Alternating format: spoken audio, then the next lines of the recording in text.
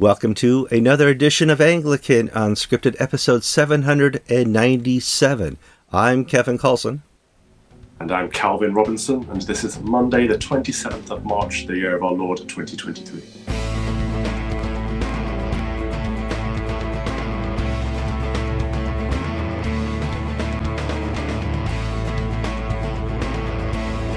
All right, welcome to another episode of Anglican Unscripted. And as you can see, I have Kev, Calvin Robinson back as a guest, and he's agreed to sit down and talk with Kevin again on screen. Kind of weird, but uh, this is one of the great things we get to do with technology like uh, I use what's it called, Wirecast, is we can record interviews around the world. And uh, uh, many people who watch us from the UK, hey, that's Calvin. I watch him on GB. Oh boy, this is going to be exciting.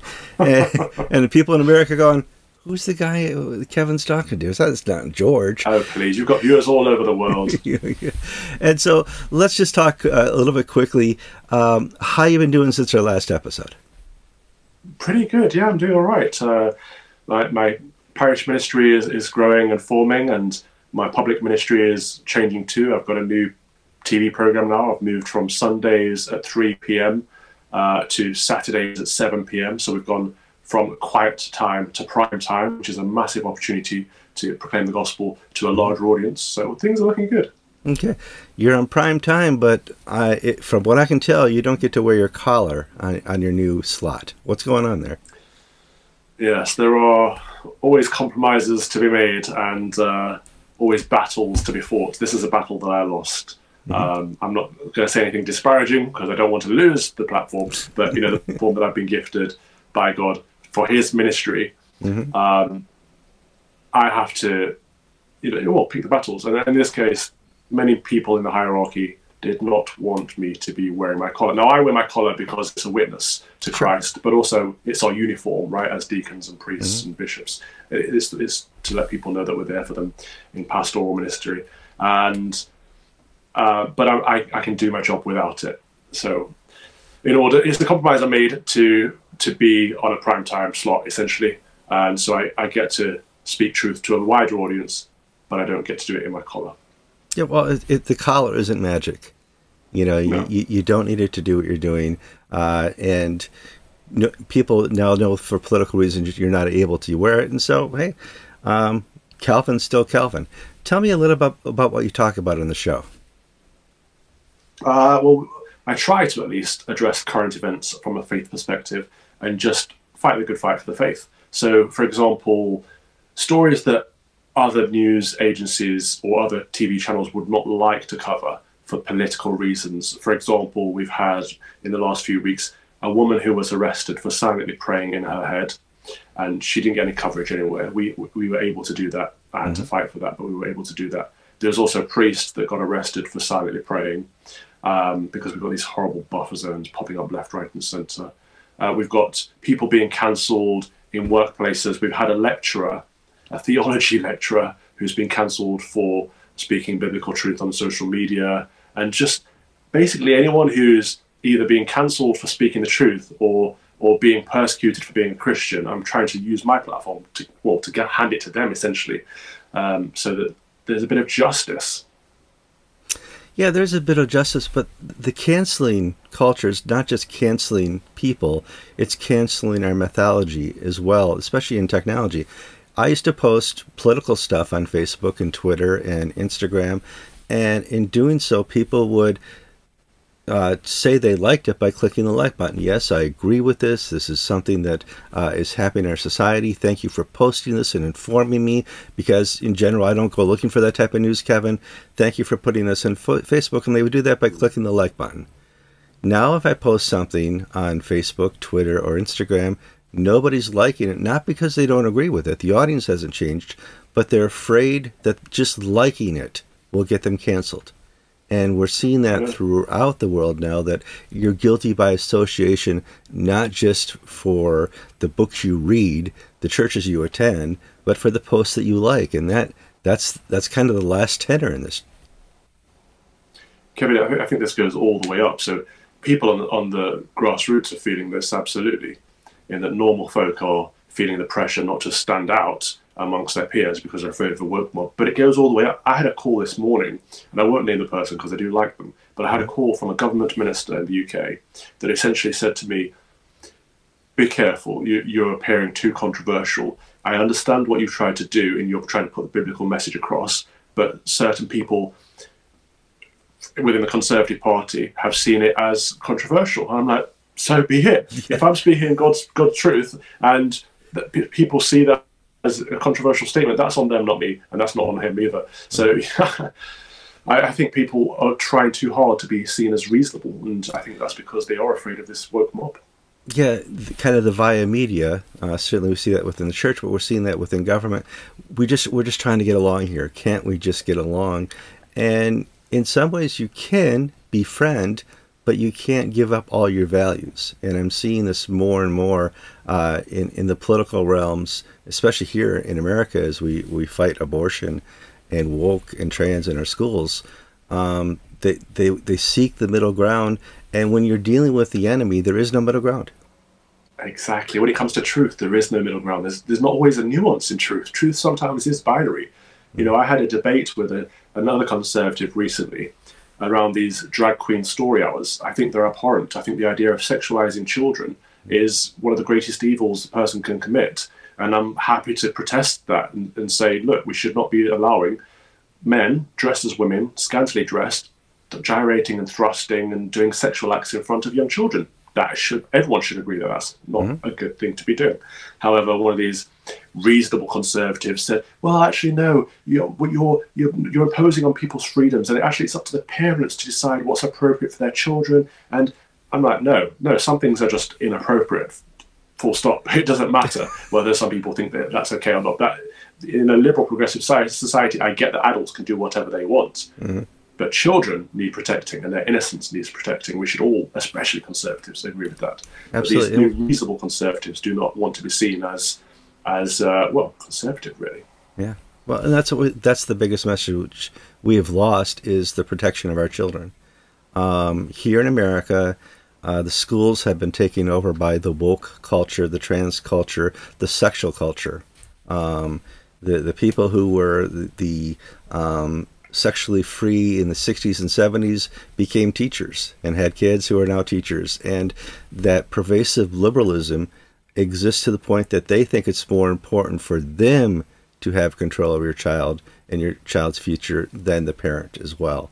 And well, you know uh, why, Kevin? It's because yeah, we do. this is an LGBT movement, right? Mm-hmm. And they literally cannot recreate, so they, they cannot reproduce so they recruit. And you know, just saying that people say that's a homophobic statement. I'm like, no, it's a statement of fact. Like if you are pushing an agenda, pushing a movement that is against um, heteronormativity, and they're quite open that they want to smash heteronormativity, the only way to pass on that agenda is to recruit, mm-hmm. and that's what they're doing with our young people. Um, I saw the a story that said uh, in 2007 the iPhone was created, 2006, 2007 uh, in 2007, there was one transgender clinic here in America. Since the prevalence of uh, social media, the introduction and promotion of transgenderism on YouTube and TikTok and all these other places, we have completely confused a generation about who they are and their biological sex and who they uh, are intended to be. And we're not allowed to tell them, you know, you're created and you're created with a purpose and that God loves you. Society is there to tell you that you are your God and you can choose who you want to be. And if it involves surgery and removing your genitals, we're here to help and pay for it. Yeah. What what has it changed so much in the 20 years? It makes me incredibly sad. It really does. I, I saw one of these clips this morning of a a young woman who's um, been mutilated. You know, she's had her chest removed, and she was she was so distraught because people are still misgendering her. People still see her as a young woman mm-hmm. because she is a young woman, but she wants to be seen as a young man now, and she can't understand why the world can't see her in a way that she isn't. And I think we're just letting these people down. We really are. This we're not being compassionate, we're not being kind, we're not being nice, and all the things that people say we are by affirming these delusions because people will never be able to change their sex. And instead of convincing people that they've got to find themselves and find their true selves. We should be we should be telling people that look, you are your body and you are your soul. This is what makes you a human being. And it's not about a journey of self actualization. It's not about becoming yourself. Actually, the good thing to focus on is Christ in his kenosis, emptying of yourself to be filled with God's will, to be filled with, to, to follow the plan that God has set out for you. That is where you find contentment. That is where you find fulfillment and holiness. And this idea of, you're quite right in that they're making gods of themselves in this whole self self identity crisis. When a person of a certain age starts using the word authentic, and I am a authentic person, they've entered this Gnosticism of the age, mm-hmm. and they have become little demigods. And in doing so, they have the power to cancel you, to reject you, uh, and to call you phobic. And we, for my generation, doesn't want to be called phobic. Your generation doesn't want to be called phobic, and we we run away from that word. Well, guess what? It's not phobic if it's real, and we need to, to, to, to push back against the word phobia here. Absolutely, we've got to take the power away from the word because the more they use it, the more it means nothing anyway. The word racist, sexist, homophobic, transphobic, all of these words, they, they've had so much power, and you're right, people have run away from them. But the moment we stop and say, no, that's not true, that's not, I'm not racist, I'm not transphobic, I'm not homophobic, I'm not any of the things you say, I'm just saying, no, what can they do? There's nothing they can do. Well, we could name call because I hate you're Christophobic. But you're right. I well, mean, I've, I've, started using that. I've started saying you really? you're Christophobic. Yeah, because we've got sometimes we've got to use their own weapons against them, and they don't like it up them, do they? Mm-hmm. Now you mentioned buffer zones, and it's something new in uh, UK law where they allow for a zone to be uh, put around abortion clinics so far. Yeah, uh, they haven't extended this. I'm waiting for Justin Welby to extend that to churches, but a buffer zone where you can't silently pray. And you and I kind of talked about this a little bit in the last program. What is happening with that, and what's the reaction in the UK uh, to something like this?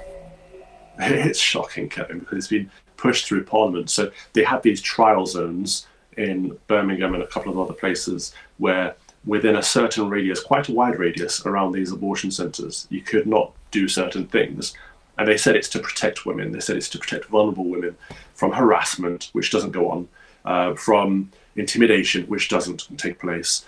Um, but the rules are so broad that they said you cannot protest, you cannot hand out literature, and you cannot pray, and not just pray out loud. You cannot pray silently in your own head. So what they're saying is that the the right, so-called right, to end a human life is more than freedom of worship, freedom of association, freedom of thoughts, and this has been so this trial took place in a small area, and now it's been pushed through Parliament. So these buffer zones can happen anywhere across the country now. And even if you are pro-abortion, even if you do think it's a human right for a woman to be able to kill her unborn child, even if that was the case, surely you should appreciate the right, or well, I hate this language of rights, but the idea that other people can present alternative options. We know from so many women that have received literature outside these evil centres that have offered other options and they haven't ended up killing their child and they've raised a, a beautiful young boy or girl and been so thankful for that. So to take that option away is saying that women can no longer have informed consent. They can't make an informed choice. It's almost as if they prefer the abortion to take place. But it, we're not even talking about literature anymore. We're just talking about someone within a general vicinity of the area praying in their heads. Like that tells me that they understand the power of prayer. That tells me what they're really afraid of is truth and prayer. Yeah, well, it it tells me that this is being conducted at a truly evil level because evil knows that prayer works. You know, your average person in the street, they don't know. Yeah, walking, just walking down the street. Do you think prayer works? No, prayer doesn't work. I, I have no example of prayer working in my society. Well, we have the greatest example that prayer works when evil needs to ban it, stop it, and cancel it. Now, you were recently canceled by a Roman Catholic choir. Is I this is a strange story, so I, I, think we need to talk about it because you're one of the most canceled people I've ever inter- interviewed. So, what's going on?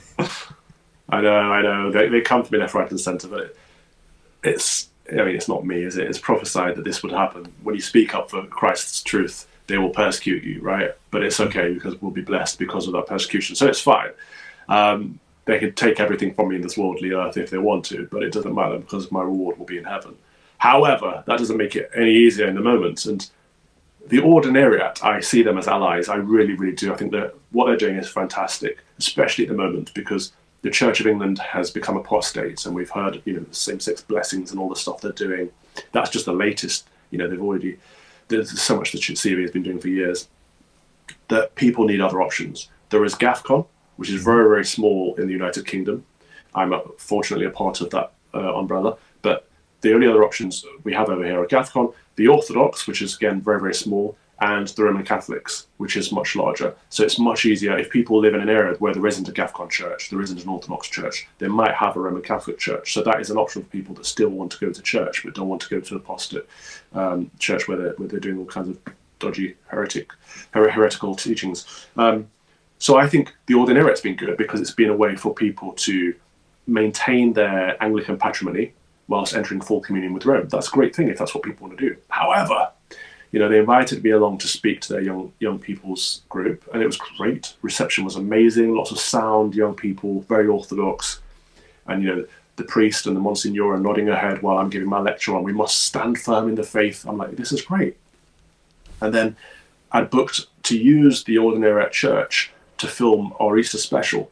So on GB News, I'm very fortunate in that they let me do an Easter special and a Christmas special every year, and it's not, you know, it's not overtly political or anything like that. It's not about the news. It's just about Jesus Christ. It's just about His gospel, and it's, it's pretty much why I do the job the rest of the time. So I get the opportunity to do those specials, right? I think it's a very good thing that we're able to proclaim the, the good news to a, a national audience on national television and so the Ordinariate gave us permission to use their church weeks ago in advance because all these things take a lot of yes, they do. work to get going. And one week before we go into film, they cancel on us. So I'm like, well, these are allies, you know, theologically, um, politically, culturally. These are these are supposedly good people. What's going on? And I said, look, it's you, Calvin. I'm like, what? Um, someone, in, someone or someone's. I don't know if it was one person or multiple people in the choir. Bear in mind, the choir is secular, they're, they're a paid choir, they don't necessarily have to be members of the church, mm-hmm. has complained about me, suggesting that I'm hateful, homophobic. And when I pushed back on that, I said to the Monsignor, look, this is a teaching opportunity. If someone says that I'm homophobic because of something I've said, this is your chance to say, no, he's not. These are the Christian views on sexual ethics. This is the Christian view on holy matrimony. Like, it's a teaching opportunity, surely. He said, oh, it's not just that, you know, your Enoch Powell article didn't help and I'm like, well, that's an article I wrote back in November, a long time before we booked the church. Like, and you knew about the article. And the article, you know, people on the woke side of the movement will say it's it's, it's that Enoch Powell was a racist, but I'm a mixed race person writing about my personal lived experience on the things that he was right about, not on race, but on immigration. And I have a right to express those opinions. And if people don't like it, so what? Tough. But apparently that's enough for them to say, look, you can't, you can no longer film an Easter special, you can no longer proclaim the good news to a national audience this Easter because someone or someone's in the choir doesn't like you. I find that incredibly sad. It is sad. Well, you mentioned that you're you're multiracial, and uh, growing up, uh, I my heritage is Norwegian and Prussian. I like talking about that. Uh, when I'm with my friends, they like talking about their heritage. Uh, what is your heritage? Good question. Uh, my, my mum's side of the family are English, and as far back as I can find, they've always been English. And my dad's side of the family come from Jamaica, mm-hmm. and I uh, managed to trace back. So obviously, Jamaica was mainly a, a slave land, was, so I wanted yeah. to find out where they originally were from. And it's Nigeria, so Northwest Africa. So I've got part um, African heritage and part English heritage. Now, I, I, love that you asked the question though, Kevin, because most people say like, "Where are you from?" or like they want to tread on eggshells around, like they just want to know what your heritage is. People, you can ask people what your heritage is. It's fine. Well, no, I, there's a person in the royal family who asked a, a uh, another person who uh, African descent. It looked, from what I saw, mm. heritage, and she got in trouble and she got canceled. And I, I don't know if she got kicked out of the royal family, but she had to do an apology to her. What? Yeah, she had to. What is that about? Apologize. It was like she was being shamed and it, it was a setup. It really was that Ngozi Fulani, first of all, wasn't her real name. She's from South London. She's not African, and she dresses in African garb, but it is what the woke people would say is cultural appropriation because it's not her garb, but it's mix and matches of different tribes from different areas. It, anyone that's actually from Africa would say it doesn't make sense what she's doing and what she's wearing. Her name didn't even make sense, the combination of the two names. So there was a lot of iffiness about it, but it's very clear she wanted to make a statement. And she was very bold and bright and colourful. And so, of course, anyone would say, well, you know, where are you from? And if she says South London, they'd be like, yeah, but where are you really from? you know, she wants to get to the question of why do you look how you look? what statement are you trying to make? Uh, but there's no appropriate way to ask that question anymore without being cast as racist. Fortunately, Lady uh, Susan Hussey has been reinvited back into the royal family because the British public made it known we were not happy with her being cancelled because it was a setup by this political activist. All right. The biggest thing happening very soon is going to be uh, the coronation of King Charles. Um, that's that's an event, uh, certainly of a generation, uh, if not a lifetime, because apparently the royals over there live a long time. And and, it is such. What are your expectations for this? Do you think uh, uh, King Charles will, you know, do good for the Church of England, or or do good for the UK? What are your expectations? Oof. I don't know. I'm actually on the fence on this one. It's not like me, but Her Majesty the Queen's funeral, I think, was the greatest public witness we've seen since the resurrection. I don't think there's ever wow. been a service that's been broadcast to as many people, seen by as many people in the world, of just good old fashioned, uh, well, Anglican liturgy, to be honest. Um, and I think she knew that, she planned that, and because she centered her life around Christ, she was a servant leader. Now, King Charles, I don't think he has her degree of faith. Doesn't mean he doesn't have faith. Mm-hmm. Um, I'm very cautious and weary about the fact that he's said in the past he wants to defend the faiths and be a defender of faith rather than the faith. And he seems to be, you know, he's courted Islam a lot over the years. That really concerns me because obviously it's the widest spreading Christian heresy, pr- pr- pretty much of all time. Um, but it's also a great risk to Western society. I think we can be welcoming and inclusive, and he, as the king, can be welcoming and inclusive and diverse and all those things that people want to be these days, while still maintaining the truth and still being look. I you could be look, I am a Christian king um, of Christendom, and that is a good thing. However, I also welcome other people of other faiths into our country. That that's the way to do it for me. But if he waters it down and has like Muslim elements of the ceremony, and I think he's having an LGBT choir and stuff, it, it would just seem a bit odd to me that he's more afraid of the world than of God. That's that's the biggest issue we have, uh, actually from day one. But you know, that being said, now you're traveling here to America uh, to attend the Anglican Way Institute um, uh, conference that's held in Texas. I went to it uh, a couple times. Uh, do you get to travel a lot with uh, your uh, career and uh, parish ministry? Oh, good question. No, I haven't traveled a lot, um, probably since COVID, really. Uh, in my previous career, I used to travel quite a bit. Mm-hmm. I love that. I love meeting new people in different places. I'm very, very fortunate in that um, I've been invited out to the Anglican Way Institute. I'm really looking forward to that because they are good Anglicans, good Anglo Catholics out there, mm-hmm. and it'll be good to to kind of get some advice on planting church and that kind of thing from them. Uh, but I'm also going out to the States to meet Matt Fradd as well for Pints with Aquinas. He's flying me out there. So I'll, I'll, have two trips to the US, and it's going to be the first time in a long time because the US has had uh, tricky um, restrictions, let's say, since COVID, which I think they're finally going to get rid of at the end of April. Yeah, in fact, we're planning our travels for the summer, and we see that there's still some places that require a mask. Uh, really? Where? some uh, federal uh, lands and national parks. And like, I, to what end? I know to what end. You know, I don't know. It, it, you know what? I was in Rome. I was in Rome last week. Okay. Um, Wait a minute. Wait. What? What? Hold, hold, what? Yeah. You're not going to swim. No, no, no. I'm Anglican. I bleed Anglican. Um, okay. But uh, I went out there to pick up my cassock, in all honesty, because ah. uh, make the best Catholics. And I, this is one I ordered months ago, but they work on Italian time, so you had to work around them. But it's cheaper to cheaper for me from London to fly out there, pick it up, and come straight back than it is to import it and get the customs and duties tax. Yes, absolutely. Yeah. I went out there, and the only people I saw wearing masks were the nuns.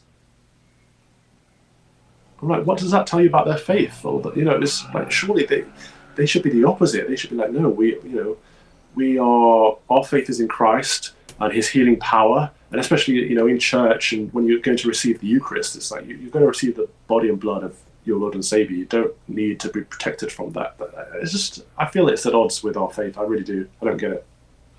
Uh, let's just finish off uh, by talking about uh, the Church of England. Uh, recently, the, the, the Synod of Bishops uh, put forward and passed on the recommendation for the LLF, the Living Love and Faith, and it's going to be taken up by the whole Synod. And my expectation is that this will become the new rule for the Church of England. And that rule states that uh, churches and priests may bless same sex unions and same sex weddings. They cannot officiate, they cannot host, um, but if a couple wants to come and be blessed, the priest is welcome to do so with new prayers. Uh, is this it? Is that the last of the, the Church of England? I think so, in all honesty.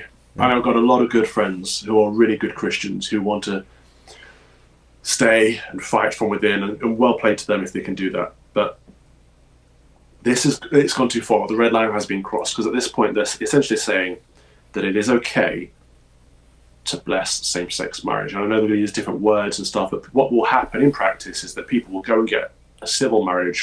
Um, two, two same-sex people will go and get married in a registry office, and then they'll go to church, and it will be blessed, which is essentially solemnizing the marriage, right? Mm-hmm. And it's undermining what we know to be marriage. And you know, people, again, people call us homophobes and bigots and stuff, but marriage means a, a lifelong union between one man and one woman. Like if in the rest of the world outside of Christianity you want to do something else, call it something else. That's fine. But to to use the word marriage undermines what marriage means for us. But for the church to allow this, what they're actually doing is saying that it comes down to each individual priest to decide if they're going to do it, which is passing the buck because the priest should be able to say, no, this is what the church teaches. And that is their shield of Ephesians 6. That is their protection to say, you know, I have 2,000 years of tradition behind me, I have my bishops behind me.